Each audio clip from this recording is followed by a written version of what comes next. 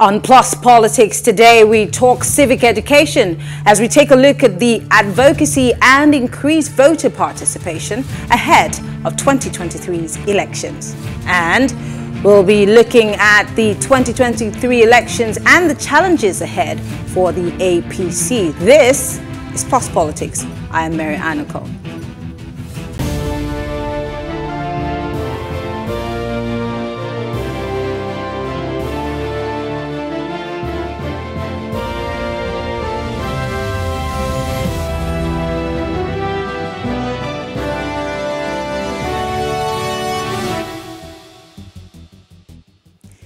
People's active participation in elections is one of the key measures of electoral democracy.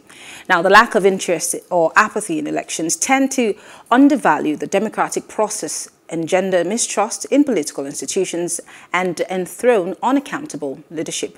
Now, this is why voter turnout is crucial uh, and an aspect of electoral studies. Nigeria has successfully undergone two decades of uninterrupted democracy. Nevertheless, recent years have shown a trend of civil, civilian engagement in the electoral process declining. There has been conspicuous decline in voter turnouts in general elections since 2003, particularly presidential and gubernatorial elections. One of the two, one of the ways to improve the quality of elections in Nigeria is to increase voter turnout and boost the participation of Nigerian citizens in their own vibrant democracy the more voters there are, uh, the harder it is for bad actors to taint the democratic process. Well, joining us live um, to discuss this is um, James Ugochukwu. He's the co-convener co of Nigeria Civil Society Situation Room and Eugene Abels, Executive Director, uh, the Extra Step Initiative. Uh, thank you so much, gentlemen, for joining us. Thanks for joining us, Ugo. Thank you for having me in Plus TV. Great. Um, let's talk about the engagement that's out there. I mean, we know that when it's close to campaign season and, of course, elections, we see um, more rhetorics, more mudslinging. We see a lot of um, propaganda, disinformation and misinformation, and pressure on all sides, both on political parties and even the voters. But then we hardly really see um, conversations that should encourage voter turnout and discourage apathy. But let me start by asking, why do you think there's so much voter apathy in Nigeria even now in 2022? Uh, well, thank you for having me once more. Uh, when we are looking at uh, voters' apathy, I think uh, we need to look back to where we are coming from, which is uh, on uh, uh, the military, uh, military, uh, the security personnel interrupting our democratic process. Can, if you can recall, say that we have a very long period of military uh, regime. And what military regime gives you is exclusion of the citizen from the governance process. So Nigerian citizens are still yet to come to terms that they have are stakeholders in their governance process or that they even have the power to uh, make decisions that affect them with respect to governance and all that. Now, after the transition to democracy in 1999, we have a political class that uh, still have that military mentality, and you still have the citizens that still have that military mentality. Now, let me look at the political class, for instance, now the political class, because they have military mentality, don't see any reason for an inclusive and a participatory democracy with the people. So they tend to do things the way they like, force themselves uh, to power, and carry out the uh, the governance process the way they deem fit. And we have the people that still believe that uh, we are still living in the democratic era, so they don't understand what the constitutional rights they have and the question they should be asking the people in governance. So when you bring all this together, you see that uh, the voter apathy is there. Then, if you now look at the, the our electioneering process, it's of recent now that we started having something that has the semblance of an electoral management body. you know, electoral management body that has very few, very limited uh, or very few influence, external influence in its dealing. If you look back at 1999 election, 2003 election, 2007 election, 2007 election being the worst election that has ever been conducted in the Nigerian history, to the point that even the president-elect then, uh, late uh, President uh, Umar Musa Yar'Adua, during his sworn uh, swearing in ceremony. He admitted that the election that brought him to power was grossly flawed. And that's how he set up the uh, Popular uh, Uwais uh, Committee. So you see that uh, because the citizens believe that their vote don't count or they don't have a say in the democratic process, they decide to uh, you know sit back, take the back seat, and watch how the whole thing is going. But I want to change your perspective with respect to citizens' participation. Apathy is reducing actually, based on what we observe in the last uh, uh, couple of elections, starting from Anambra election in November 2021 last year, and the FCT election 2023 that happened in February, and of course, Ekiti and the uh, Osun election.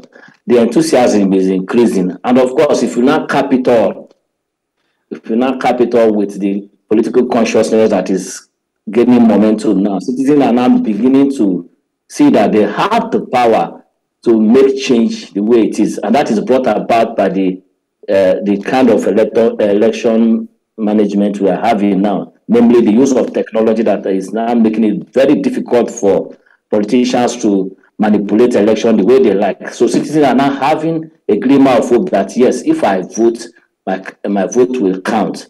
And if I choose a particular candidate, that candidate will be sworn in, just as we saw in uh, and the uh, Ekiti election. And uh, based on that, I think that's what, what is propelling the citizen to have active interest in what is uh, going on. And I think uh, COP 2023, and based on the surge for registration for the PVC and uh, uh, you know the alignment they are doing uh, behind different political uh, parties and politicians and all that, I think we are going to have a very tremendous turnout when it comes to 2023 okay. general election. Uh, Eugene Abels is joining us. He's the director of Extra Step Initiative. Eugene, um, we're talking about voter enthusiasm here and, of course, pushing for more voter participation. But we can't also have this conversation uh, without bringing in civil society. Um, we also see that the civic space is saturated with all kinds of civil society organizations, but there has been that question mark around how apoliticized uh, or apolitical, I beg your pardon, these civil society organizations are, because we have also seen and heard civil society organizations declaring support for politicians. How can the rest of society want to get involved in politics if even the guys who are supposed to speak up for the common man seems to, you know, be leaning to different kinds of political parties? Yes, thanks for having me. And um, and um, um, one would say uh, everybody is a political animal, whether it be in the family or because uh, politics basically has to do with um, the allocation of resources.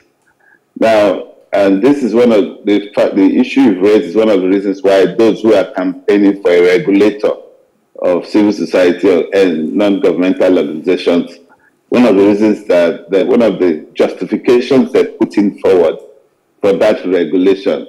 So I expect that um, uh, for me, I will advise that um, uh, I think there has to be some form of regulation because in the last six years, for economic interest, there was, a, uh, there was an abuse which led to the proliferation of a lot of non-governmental organizations. So anything that is not regulated is likely to be abused. But the question is now, to what extent do you want to regulate before uh, the fear that everybody is concerned about begins to play, whereby let government not use that as an opportunity to begin to stifle this platform that enables the ordinary man's voice to be heard and uh, also put uh, regulators in check.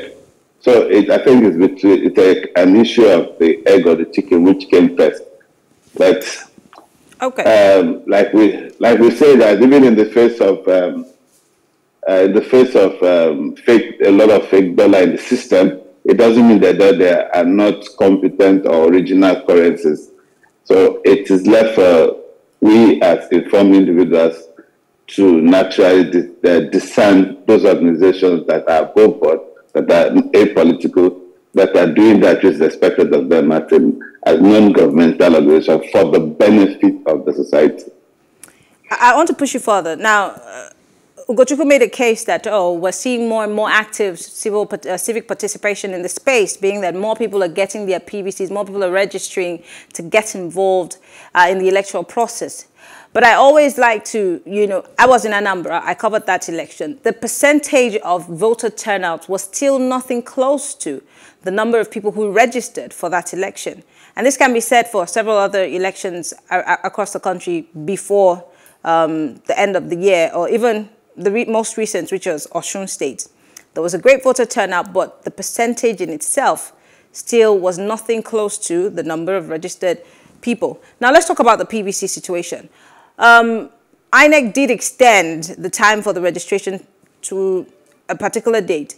As soon as that that um, date was, you know, announced, we saw a lax. A lot of people just relaxed. And then when it was close to the final day, we saw a surge of people to those registration centers. And that's one step.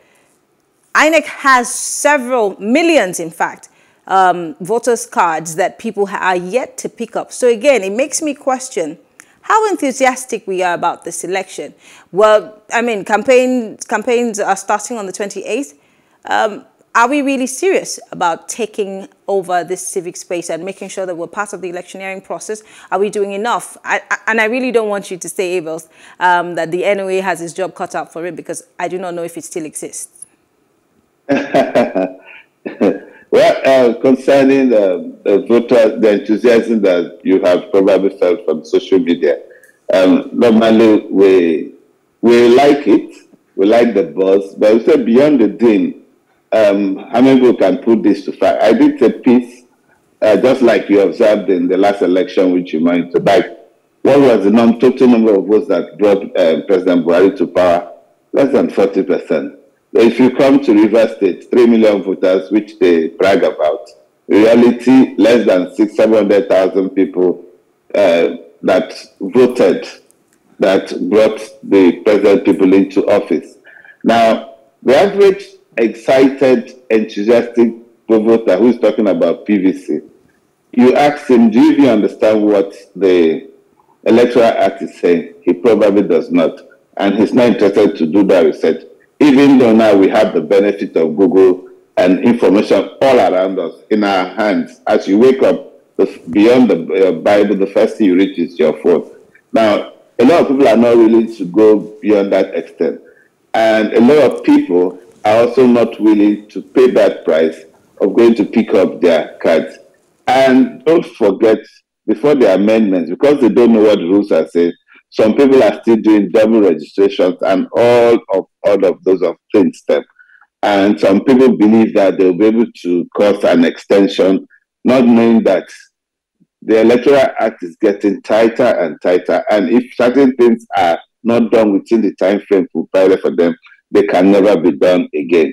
It's just like the typical conversation here in the public space where people are saying, I ah, let them amend the electoral act so that this can happen. And you need to, we have to go out of our way to remind them that irrespective of the amendments that are made to the act today, it is time bound.